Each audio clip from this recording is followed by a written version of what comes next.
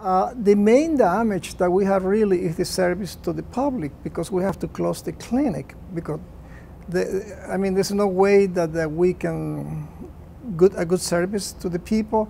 Uh, WIC, for instance, uh, people can call and have the WIC renewed. We can renew a WIC for one month in these emergency cases.